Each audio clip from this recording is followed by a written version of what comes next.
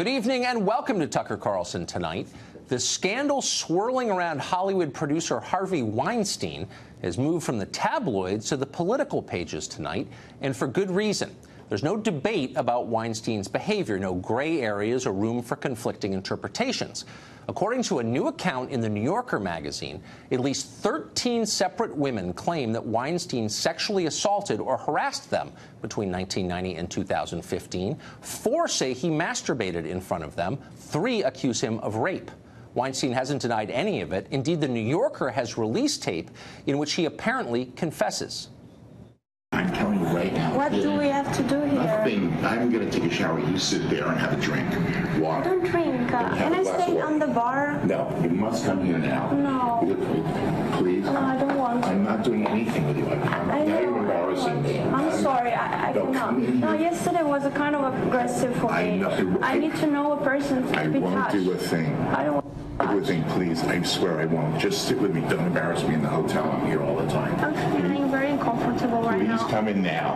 And one minute. And if you want to leave, when the guy comes with my Why jacket, you can go. yesterday you touched my breast? Oh, please, I'm sorry. Just come on. I'm used to that. But Come on. Oh, are you used Please. to that? Yes, come in.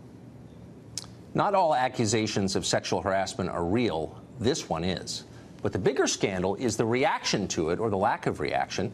Harvey Weinstein isn't just a movie producer, he's a political figure on the left, a major donor to the Democratic Party, a personal friend to countless liberal activists and politicians. All of which helps explain why the reaction from self described defenders of women has been so muted. For the days after the story broke, Democrats in Hollywood and Washington seemed to freeze, unsure of what to say, hoping the whole thing would just die down and go away. It hasn't. Those actors who lecture you from the Oscar podium every year about their virtue and your lack of it, suddenly silent.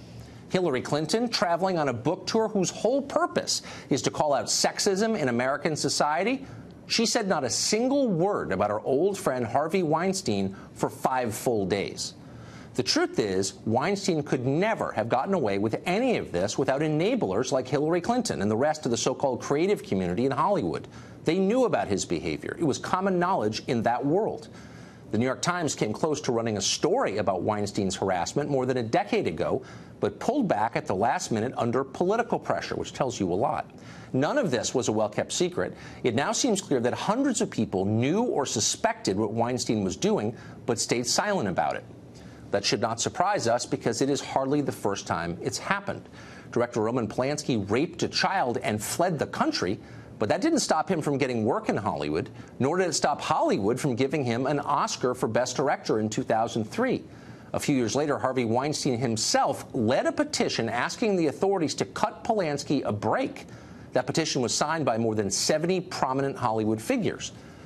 Meanwhile, Woody Allen has been dogged by sexual abuse allegations for decades, but that's done nothing to slow his steady output of films starring Hollywood's top actors. Once again, one of Woody Allen's biggest defenders was, take a guess, Harvey Weinstein.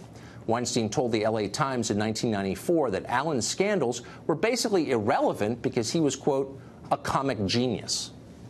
Now, isolated incidents happen, but this is a trend. Sexual abuse is epidemic in Hollywood. The people in charge have covered it up and made excuses for it, in each case protecting the powerful from the powerless and the abused. It is time for the federal government to get involved. The Department of Justice should launch an immediate investigation into Hollywood's culture of systematic sexual abuse. There's ample precedent for this. Under the Obama administration, the Department of Education launched more than 300 investigations into schools across the country, ranging from Harvard all the way down to Cisco Junior College. All of them sought to expose and punish schools it said violated federal law by enabling cultures of sexual harassment and assault. The Department of Defense, meanwhile, has spent years trying to root out sexual assaults in the armed services. When Jerry Sandusky's crimes were exposed at Penn State, the federal government launched not one, but two investigations into the failure of the school to discover and report his abuse. For years, Democratic senators have taken the lead in condemning institutional sexual abuse. They've held hearings, press conferences, issued statements. Now, because one of their own donors has been accused, they are silent. But there's no reason this ought to be a partisan issue. Democrats in Congress say they care about women. Now we'll see if they mean it.